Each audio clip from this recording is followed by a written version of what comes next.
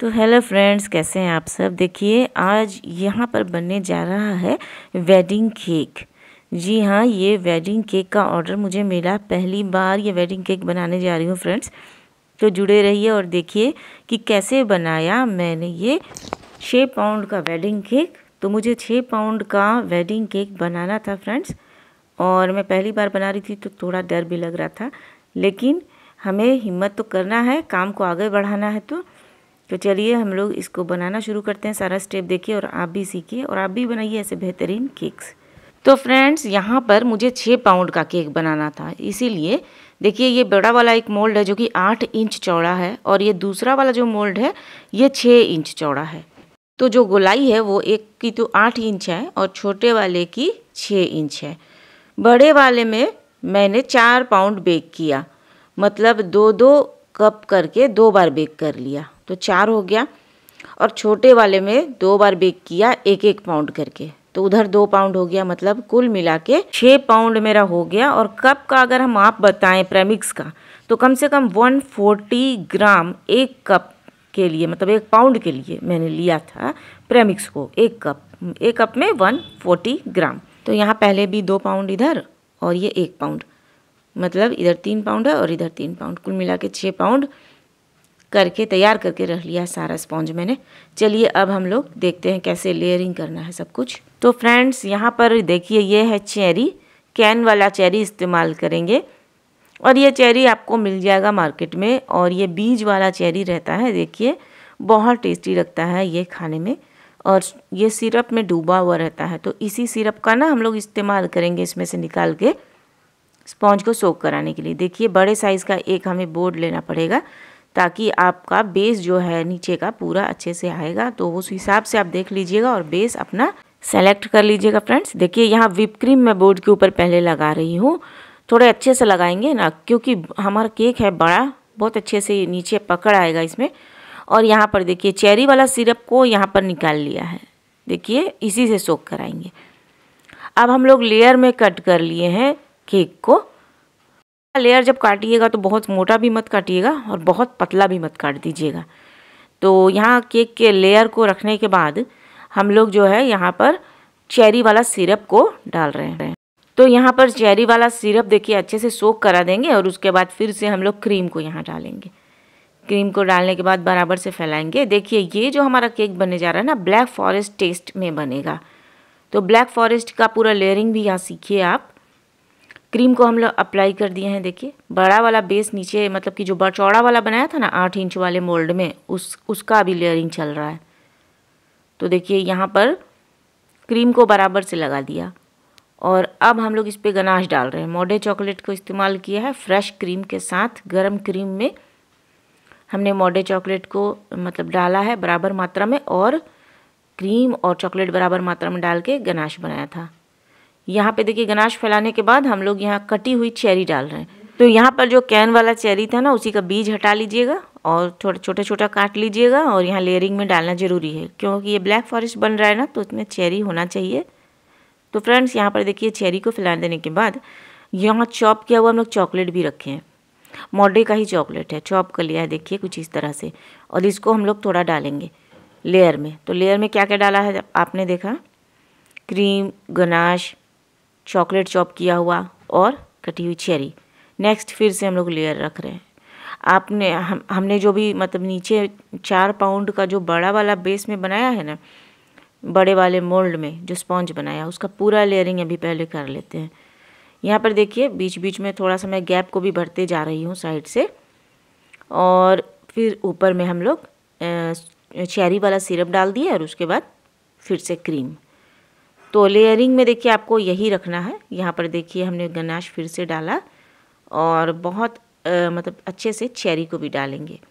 फिर चॉकलेट को डाल रहे चॉप किया हुआ तो बहुत ही चॉकलेटी बनेगा। तो भाई जिन्होंने ऑर्डर दिया है तो उन उनका भी उनको मतलब ऐसा बना करके देना है कि नेक्स्ट वो मुझको ऑर्डर दें अच्छा लगे उनको। चेरी काटने में मेरे हस्बैंड ने भी मेरी हेल्प की और कुछ कुछ काम जो मैं, मुझे हेल्प की ज़रूरत थी। अच्छा था कि वो आज ड्यूटी पर मतलब घर पे ही थे छुट्टी में। इस वजह से मुझे हेल्प भी थोड़ी मिली। तो देखिए, इन्होंने चेरी काट के ला दिया है। और देखिए, मुझे ना शादी में भी निकलना है। मेरे मतलब भाभी के भाई की शादी भी है आज। तो उसमें भी मुझे जाना है। केक को जल्दी से तैयार कर लेते हैं। तो देखिए, यहाँ पर लेयर रख रहे हैं। और लेयर रखने के बाद फिर से देखिए यहाँ पे हमने क्रीम को साइड में लगाया और फिर से यहाँ पे हम लोग विप क्रीम को लगा रहे हैं। तो विप क्रीम की भी रेसिपी ना चैनल पर है जा कर के ज़रूर देखिएगा।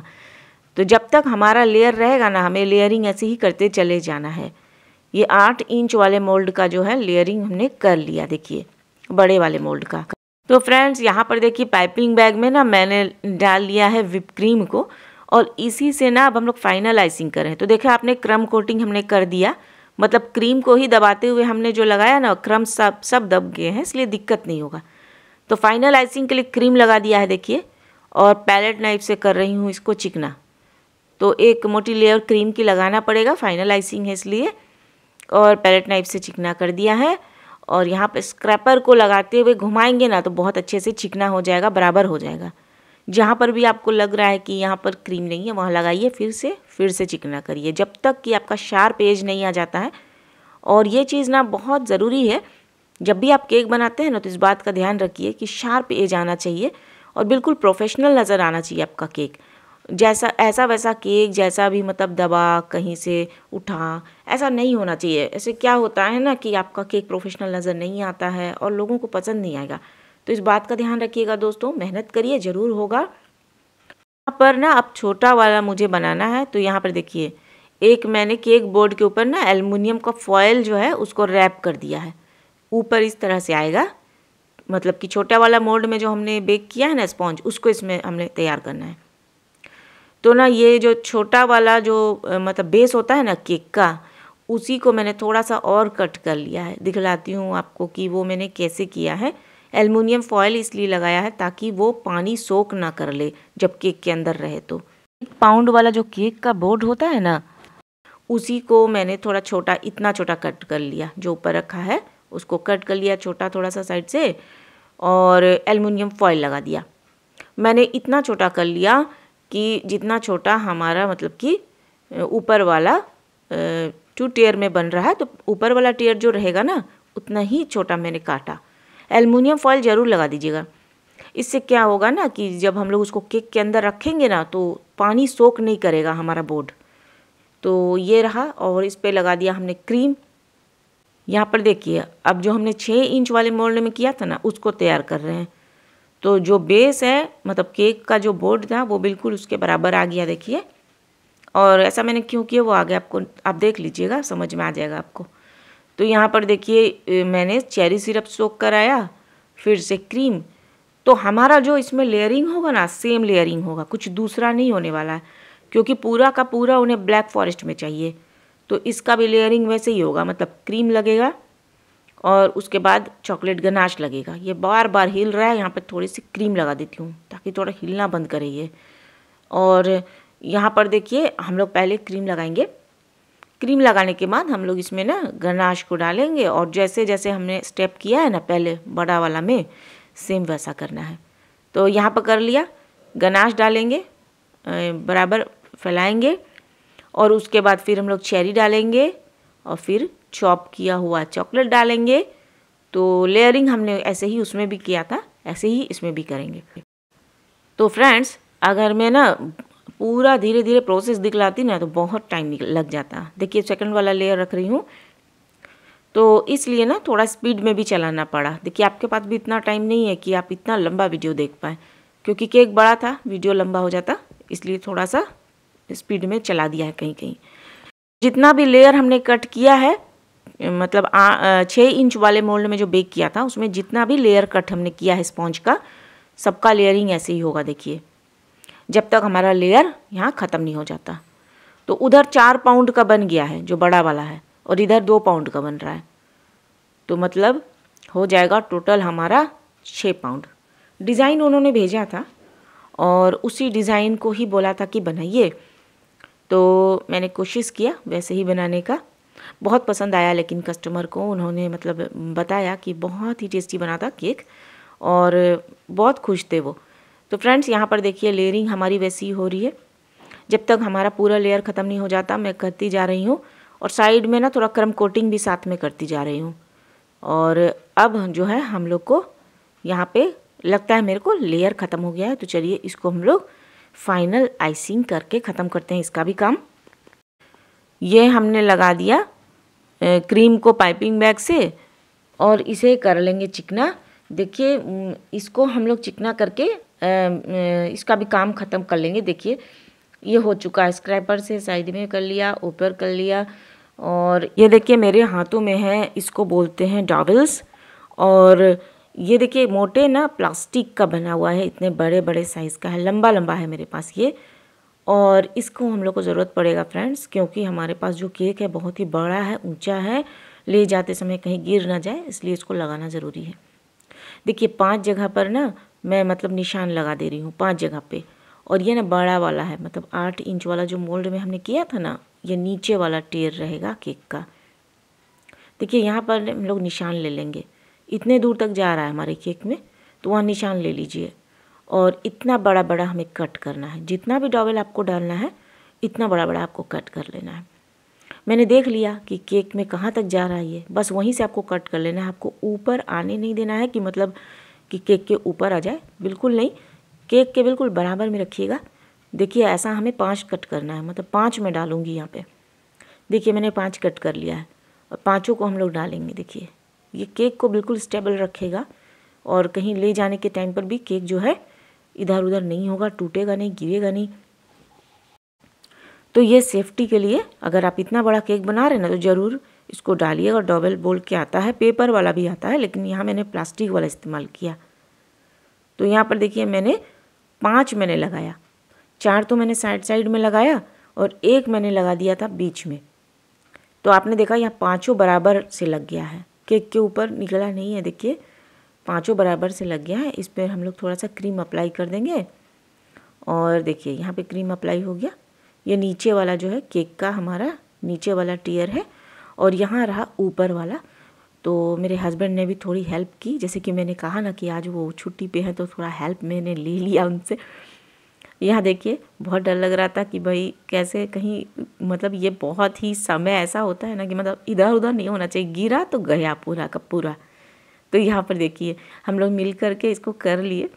अगर वो नहीं होते ना तो आज मेरे को ही इसको कांपते डरते हुए करना ही पड़ता। लेकिन देखिए, यहाँ पर हो गया और जो मतलब कि थोड़ा बहुत जो ख़राब हुआ है ना क्रीम, उसको हम लोग बस छोटा वाला पैलेट नाइफ इस्तेमाल करिए और क्रीम को लगा लीजिए। जहाँ जहाँ भी निकल गया है ना क्रीम, वहाँ बस फिल कर दीजिए और यहाँ पर आप चिकना कर लीजिए फिर से। देखिए, यहाँ पे छोटे पैलेट नाइफ से पहले हल्का फुल्का हमने जो भी भरना था भर लिया, चिकना कर लिया। देखिएगा, बिल्कुल भी ख़राब नहीं लगेगा और यहाँ स्क्रैपर चला दिया। बराबर हो गया फ्रेंड्स। देखिए, अब लग रहा है कि ख़राब हुआ था हमारा कहीं से। देखिए, एक बड़ा मैं ले रही हूँ। देखिए, लंबा वाला मैं ले रही हूँ और पहले डाल के देख ले रही हूँ। यहाँ पे डाल दिया मैंने। जो छोटा वाला एलुमिनियम फॉयल वाला हमने लगाया था ना, बेस, उसको मैंने हटाया नहीं है, वो केक के साथ ही अंदर में चला गया है। मतलब ऊपर वाले बेस के ऊपर वाले टीयर के नीचे ही है। देखिए, एक डॉबल मैंने यहाँ डाल दिया काट करके। देखा आपने? सिर्फ़ मैं एक ही डॉबल वहाँ पे डाली ऊपर में। मुझे नहीं लगा कि और ज़रूरत पड़ेगी। नीचे तो हमने पाँच डाला है ना तो ऊपर एक ही डाला। यहाँ चॉप किया हुआ चॉकलेट हम लोग डाल दे रहे हैं। देखिए, ऐसे छिड़क छिड़क के डालिएगा ना तो पूरे में हमें इसको स्टिक कराना है। और एक बात का ध्यान रखिएगा, जब भी आप ये चॉकलेट स्टिक कराना चाहते हैं ना तो तुरंत आइसिंग के बाद ही इसको करिएगा। आइसिंग को सेट होने मत रख दीजिएगा, वरना ये स्टिक नहीं होगा, बहुत दिक्कत होगा, फिर स्टिक होगा ही नहीं ऐसे छीटने से। तो जब क्रीम एकदम ताज़ी ताज़ी है ना, उसी समय आपको करना है ये चीज़। और फ्रेंड्स हाँ जो मैंने एलुमिनियम फॉयल आपको दिखलाया था ना सॉरी एलुमिनियम फॉयल में रैप किया हुआ जो बेस दिखलाया था ना, वो छोटा ऊपर वाला टीयर के ठीक नीचे ही है। उसको मैंने हटाया नहीं है, यहीं अंदर ही डाल दिया है साथ में। और ताकि मतलब स्टेबल रहे। अब देखिए, हमने डाल दिया पूरे में चॉकलेट छीट छीट के और ऊपर भी थोड़ा सा डाल दे रहे हैं। तो हमें ना इस पर डिज़ाइन भी बनाना है, इसलिए चॉकलेट थोड़ा हिसाब से हम कॉर्नर पे डाल रहे हैं। कॉर्नर पे हमें ये डिज़ाइन बनाना है इसलिए। कोई बात नहीं, ये थोड़ा आप चॉकलेट डाल के हाथों से थोड़ा हल्का हल्का प्रेस कर देंगे ना तो डिज़ाइन भी इस पर आ जाएगा, कोई दिक्कत नहीं होगा। बीच में हम लोग ज़्यादा चॉकलेट डाल रहे हैं, क्योंकि बीच में ना कोई डिज़ाइन रहेगा नहीं। तो बिल्कुल बीच में देखिए, सेंटर पे हम थोड़ा सा ज़्यादा चॉकलेट डाल दिए इसीलिए। चॉप किए हुए चॉकलेट को उंगलियों की मदद से हल्का हल्का सा प्रेस कर रही हूँ, क्योंकि यहाँ पे हमारा डिज़ाइन बनेगा इसलिए। बीच में अच्छे से भर दिया है चॉकलेट, जैसा उन्होंने इमेज भेजा था तो ऐसा ही था। तो मैं ऐसे ही बना रही हूँ। फ्रेंड्स, ये हो गया देखिए। एक्स्ट्रा वाला को थोड़ा सा झाड़ लीजिए और अब हम लोग डिज़ाइनिंग का काम करेंगे। तो यहाँ वन ई नोज़ल का इस्तेमाल कर रही हूँ। देखिए, वन ई नोज़ल से कुछ इस तरह का डिज़ाइन मैंने उधर से स्टार्ट किया था बनाना, जो कि मैं नहीं दिखा पाई आपको। देखिए, यहाँ पे मैं बनाते जा रही हूँ। कॉर्नर पे ये डिज़ाइन बनेगा। वन ई नोज़ल को प्रेस करना है, उठाना है। तो फ़ोटो में ऐसे ही था तो मुझे भी ऐसे ही बनाना होगा। तो यहाँ पर देखिए, यहाँ पे भी हमें बनाना है। तो यहाँ पर भी हम लोग इसको बना रहे हैं। थोड़ा थोड़ा दूरी पे इसको बना रहे हैं। ऊपर तो सटा सटा के बना दिया। यहाँ पे हल्का हल्का सा दूरी पे बना रहे हैं। ये देखिए, लगभग ये भी है देखिए, हमारा हो चुका। क्रीम में कोई कलर नहीं है, बस वाइट कलर की क्रीम से ही डिज़ाइन बन रहा है। देखिए, वन ही नोज़ल मेरे हाथ में। इसी से मैं पूरा काम कर रही हूँ। देखिए फ्रेंड्स वन ई नोज़ल से मैंने ना नीचे बॉर्डर भी कर दिया है, वो मैं आपको दिखला नहीं पाई। और चेरी को देखिए कैन चेरी को ही इस्तेमाल कर रहे हैं, यहाँ पे एक एक डिज़ाइन छोड़ के लगा रहे हैं। देखिए, एक एक डिज़ाइन छोड़ के लगा रहे हैं चेरी को। तो ये हो गया। चेरी नीचे भी लगाना है, इसके हर एक डिज़ाइन में चेरी लग रहा है, ऊपर एक एक छोड़ के लगाया था। ये हो चुका चेरी लगाने के बाद हमारा केक रेडी तो दोस्तों, यही डिज़ाइन था, मैंने बना दिया। आप चाहें तो इसके ऊपर कोई टैग वगैरह दे सकते हैं। और ये वेडिंग के लिए ये केक बनाया गया था तो टैग वगैरह अलग से दे दिया जाएगा इसी के साथ। तो फ्रेंड्स तैयार है हमारा ये छः पाउंड का वेडिंग केक तो उम्मीद करती हूँ आप बहुत कुछ इसमें सीख पाए होंगे। और अगर आपके कोई सवाल हैं तो कमेंट सेक्शन में पूछिएगा। और ये केक मेरा रेडी हो गया था। और मुझे इसको रख के सेट करने अभी फ्रिज में रखना था। तो इसको मैंने फ्रिज में रख करके मैं निकल गई थी शादी अटेंड करने। जब वो लोग आए तो फिर ये केक उनको मैंने दिया।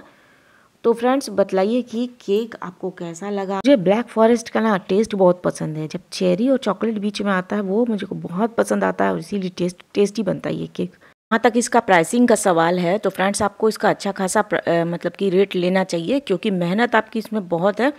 साथ ही आपको पूरा मटेरियल का खर्चा भी निकालना होगा, अपनी मेहनत का खर्चा निकालना होगा और वेडिंग केक वैसे भी महँगा बिकता है। तो उस तरह से देखिए तो आप सारा खर्चा निकालने के बाद, अपना मेहनत जोड़ने के बाद अच्छा खासा चार्ज करिएगा अगर आप इस तरह का केक बनाते हैं। तो आप भी ट्राई करिए।